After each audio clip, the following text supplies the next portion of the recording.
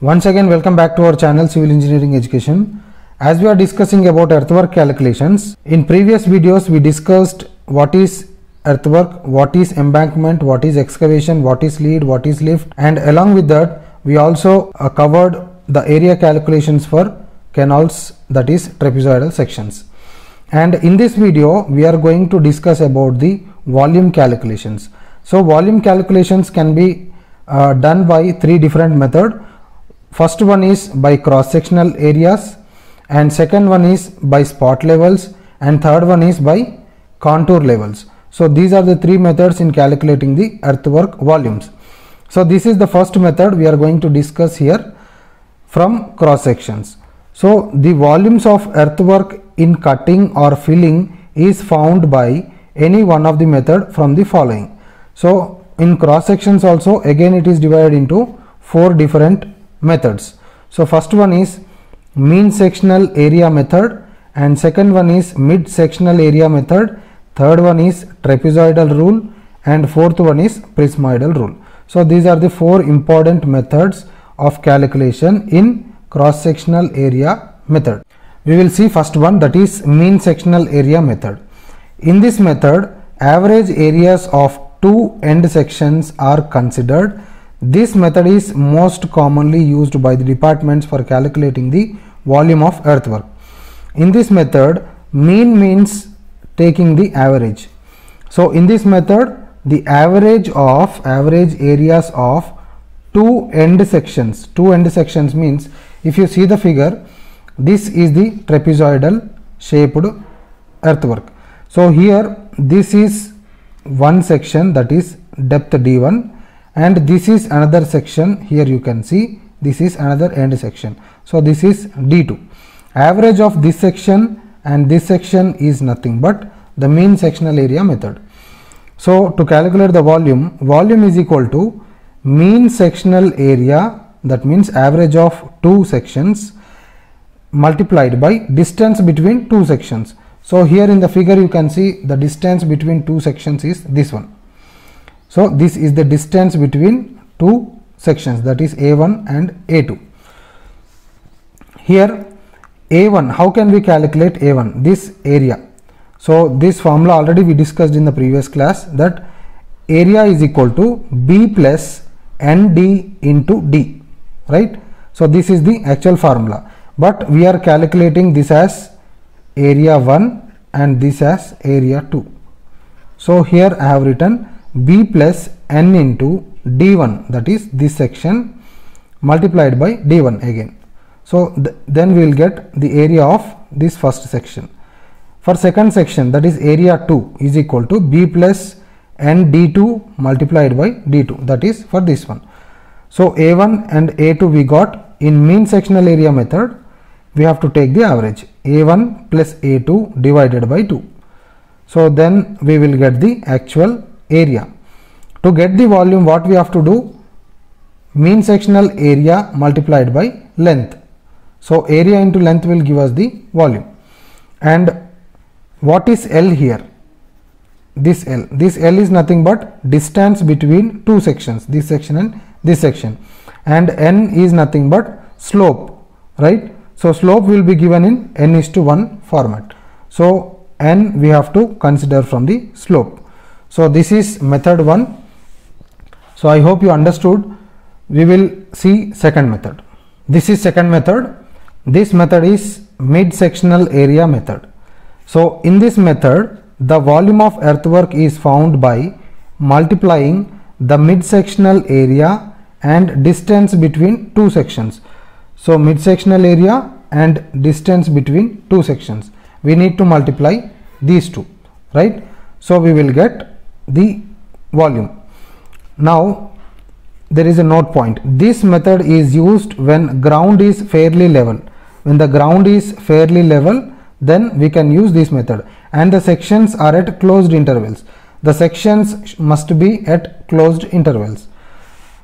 Let us see the formula. Volume is equal to area at midsection. We need to calculate the area at midsection multiplied by the distance that is nothing but L area or at midsection multiplied by L.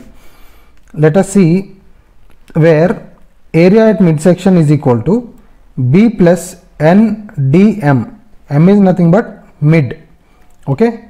And m is nothing but mid multiplied by dm so this is common formula b plus nd into d.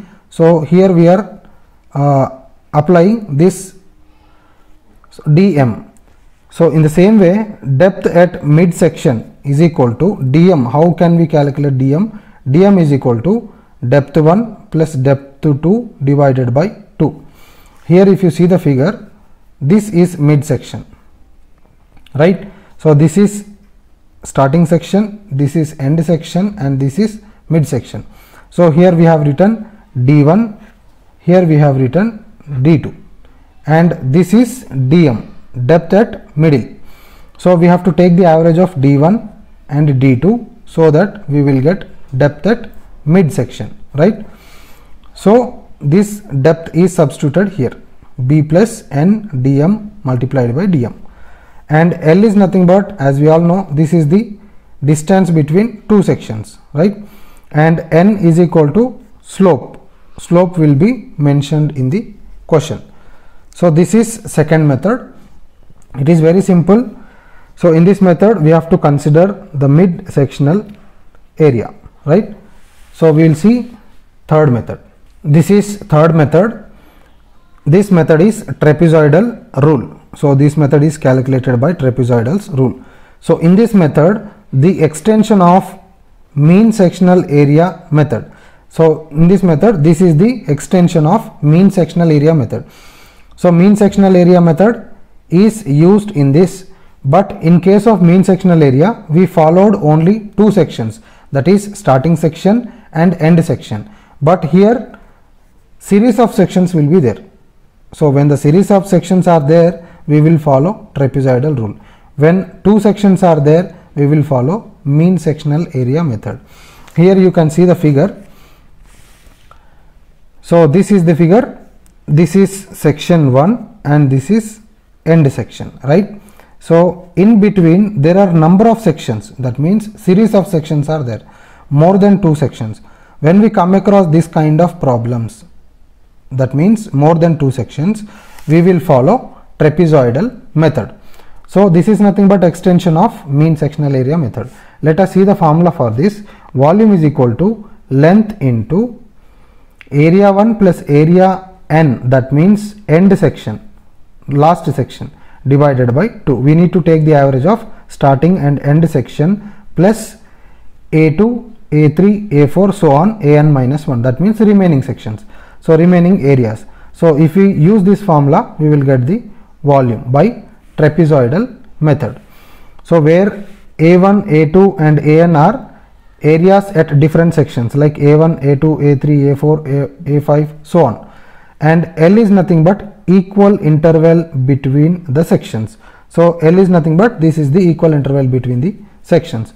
So this is third method that is by trapezoidal rule.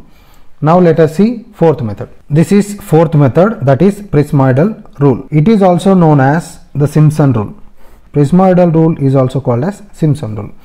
So this method is used when the shape of the solid between the two parallel cross sections in the shape of a prismoid.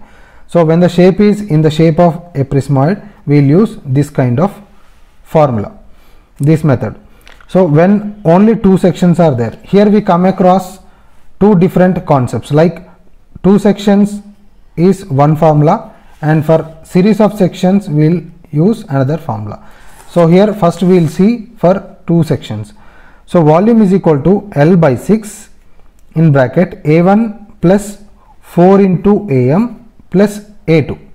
So this is the formula used for two sections. When there are two sections, if we need to calculate by prismoidal rule, we will use this formula where A1 is equal to area of cross section at one end, A2 is equal to area of cross section at other end. That means two end sections are there. Here AM is nothing but area of cross section at middle, right?